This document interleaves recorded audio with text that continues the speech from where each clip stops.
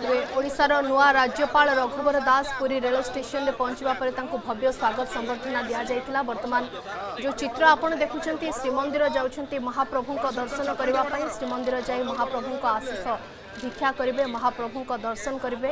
ଆସନ୍ତାକାଲି ପୂର୍ବାହ୍ନ ଏଗାରଟା ପଇଁଚାଳିଶ ମିନିଟ୍ ଧାର୍ଯ୍ୟ ହୋଇଛି। ଓଡ଼ିଶାର ନୂଆ ରାଜ୍ୟପାଳ ଭାବରେ ଶପଥ ଗ୍ରହଣ କରିବେ ସେ।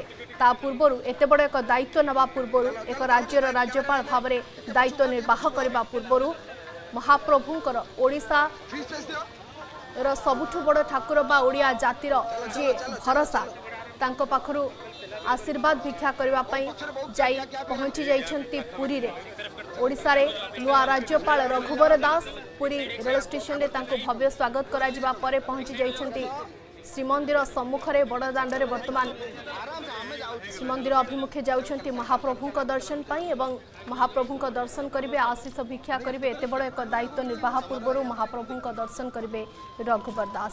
ଆସନ୍ତାକାଲି ପୂର୍ବାହ୍ନ ଏଗାରଟା ପଇଁଚାଳିଶ ମିନିଟ୍ ସମୟ ଧାର୍ଯ୍ୟ କରାଯାଇଛି। ଓଡ଼ିଶାରେ ନୂଆ ରାଜ୍ୟପାଳ ଭାବେ ଶପଥ ଗ୍ରହଣ କରିବେ ରଘୁବର ଦାସ।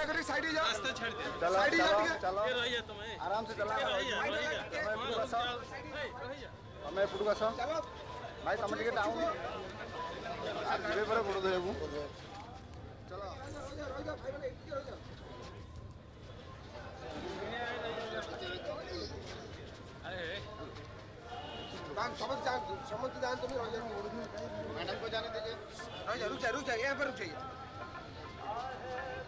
ପୁରୀରେ ନୂଆ ରାଜ୍ୟପାଳ ପହଞ୍ଚିଛନ୍ତି ଶ୍ରୀମନ୍ଦିର ଯାଉଛନ୍ତି ମହାପ୍ରଭୁଙ୍କ ଦର୍ଶନ କରିବେ ଏବଂ ଶ୍ରୀମନ୍ଦିରରେ ମହାପ୍ରଭୁଙ୍କ ଦର୍ଶନ କରିବେ କାରଣ ଏକ ବଡ଼ ଦାୟିତ୍ୱ ଓଡ଼ିଶାର ରାଜ୍ୟପାଳ ହିସାବରେ ଆସନ୍ତାକାଲି ସେ ଶପଥ ଗ୍ରହଣ କରିବାକୁ ଯାଉଛନ୍ତି ତା ପୂର୍ବରୁ ମହାପ୍ରଭୁଙ୍କ ଦର୍ଶନ କରି ତାଙ୍କର ଆଶୀର୍ବାଦ ଭିକ୍ଷା କରିବେ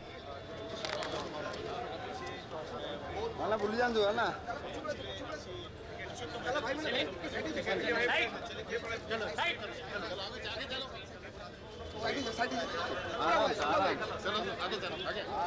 ପୁରୀରୁ ସିଧାସଳଖ ଚିତ୍ର ଆପଣ ଦେଖୁଛନ୍ତି ଓଡ଼ିଶାରେ ନୂଆ ରାଜ୍ୟପାଳ ଏହା ପୂର୍ବରୁ ପ୍ରଫେସର ଗଣେଶୀ ଲାଲ ରାଜ୍ୟପାଳ ଥିଲେ ଏବଂ ଓଡ଼ିଶା ନିଜର ନୂଆ ରାଜ୍ୟପାଳ ଆସନ୍ତାକାଲି ପାଇବ। ଆସନ୍ତାକାଲି ଶପଥ ଗ୍ରହଣ କରିବେ ରଘୁବର ଦାସ।